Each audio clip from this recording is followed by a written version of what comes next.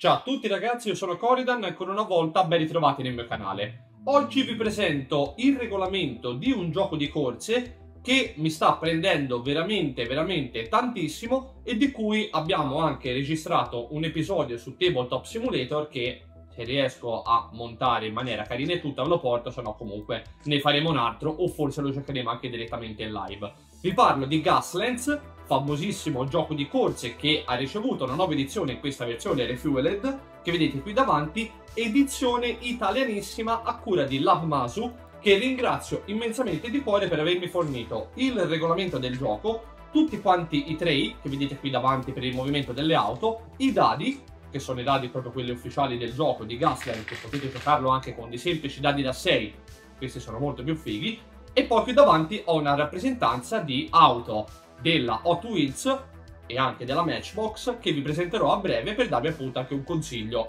per l'acquisto. Dopo la sigla.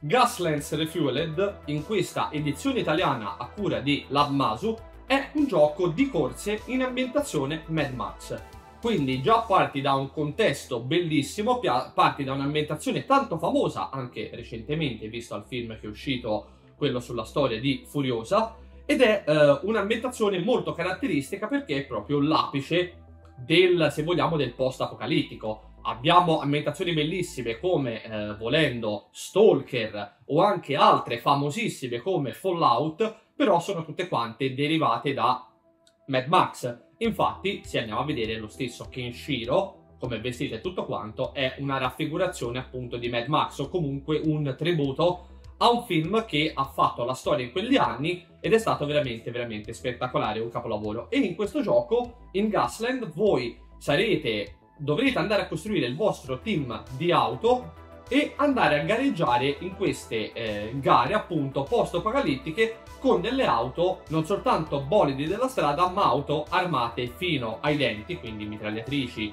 gatling, cannoni, bomba a mano, torrette e quant'altro in un gioco che ricorda un po' ad esempio titolo per PC Crossout, mi viene in mente. Il regolamento del gioco è molto semplice per quanto questo è un wargame, quindi non è un board game dove trovate una scatola di partenza con dentro tutto l'occorrente voi qui comprate unicamente il manuale, poi tramite il sito della Labmasu potete, e secondo me dovete, ordinare il set dei dadi e ordinare anche i tre di movimento che servono per forza. Senza i dadi si gioca, perché basta il dado da 6. Senza questi no.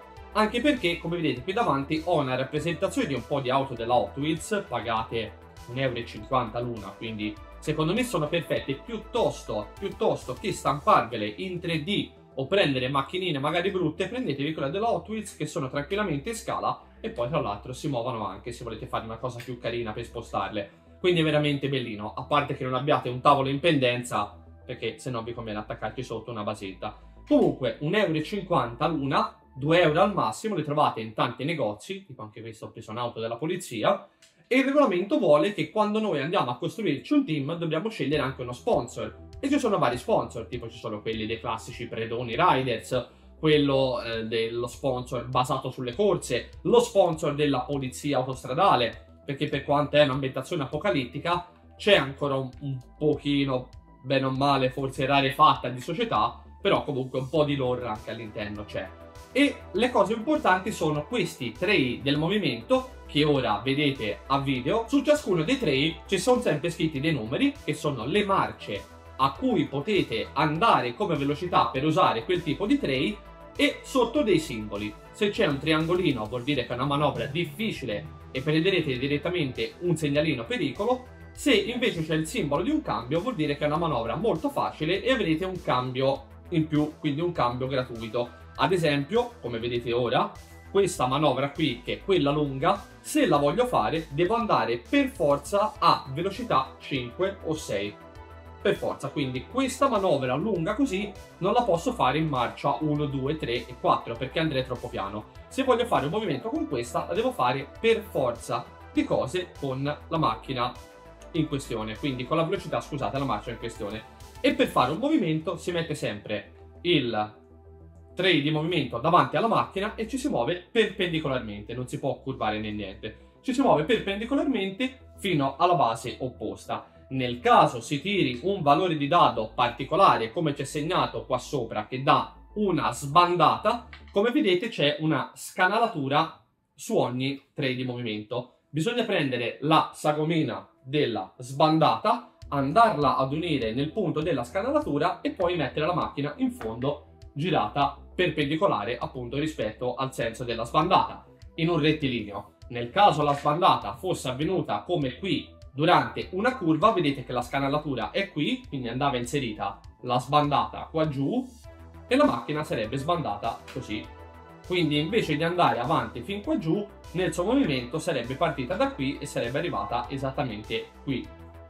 Ed è una cosa importante. All'inizio di ciascun turno si vanno a tirare tot dadi a seconda dell'handling oppure della manovrabilità della macchina, di solito è 4 per un bolide perché ci sono diverse auto c'è la classica auto muscle car, ci sono addirittura carri armati, moto, elicotteri, si può gareggiare anche con un elicottero, c'è di tutto. E all'inizio si vanno a tirare dadi se li vogliamo tirare. Il dado come risultato dà sempre un cambio, che il cambio serve per incrementare o scalare di marcia o levare un segnalino pericolo. Poi c'è il risultato di rischio, ti prendi un segnalino pericolo se non l'annulli, la sbandata, che è quella che abbiamo visto poco fa, e poi c'è un'altra importantissima che è la derapata. La derapata è una cosa positiva, per quanto dà anche questa un simbolo di pericolo, perché se noi vogliamo fare una manovra e girare un po' la macchina ci serve la sbandata, perché se io metto questa manovra e vado fino a qui mi posso muovere così. Devo sempre stare perpendicolare, non posso muovermi e girare un po' lo sterzo. Con invece eh, la derapata posso direttamente andare in fondo e girarla fino a 90 gradi. Quindi posso decidere, magari, se arrivo qua giù in fondo, scusate, a 45, se arrivo qua giù in fondo, posso decidere comunque di ruotarla un po' in questa direzione o quest'altra. E quindi perlomeno cerco di non andare contro un muretto, non andare contro un'altra macchina.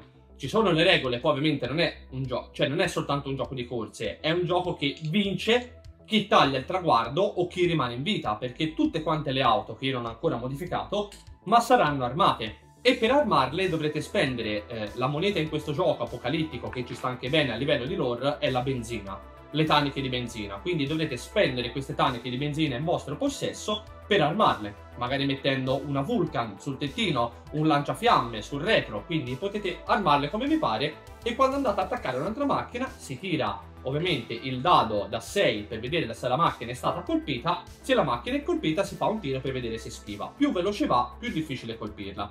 Poi le regole ovviamente non sono qui per farvi un tutorial, le, le regole c'è molto di più all'interno del regolamento, però comunque sono il gioco. Complessivamente è un gioco di corse dove ci si può anche sparare, si mettono i tray, per usare il tray dovete andare alle velocità descritte sul tray, quindi questa potete andare a 1, 2, 3, dove 1 è una manovra facile, quindi vi regala un dado, invece di tirarne 3 ce ne avete 5 gratuiti, cioè avete un cambio gratuito, e poi 3 invece se andate a velocità 3 vi dà direttamente un pericolo. Quando arrivate a 6 segnalini pericolo andate in testa coda. Quindi uscite, perdete la velocità, tornate a marcia 1 e quegli altri vi passano. Quindi il gioco è riuscire a gareggiare, non farsi distruggere e non prendere più di 5 segnalini pericolo perché al sesto si va in testa coda. Concludo dicendo che questo Gaslands in versione italiana e soprattutto nuova edizione Refueled è un titolo veramente ragazzi spettacolare.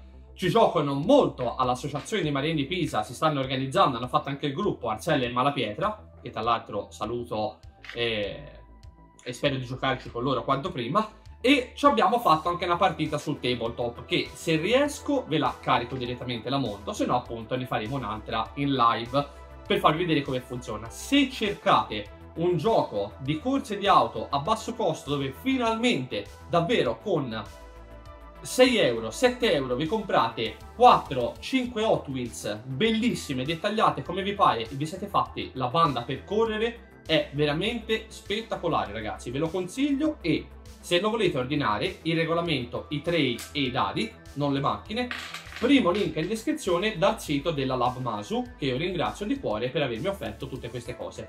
Dateci un'occhiata perché se cercate un gioco di corse in ambientazione Mad Max vi farà veramente perdere il capo ed è molto molto divertente. Ciao alla prossima!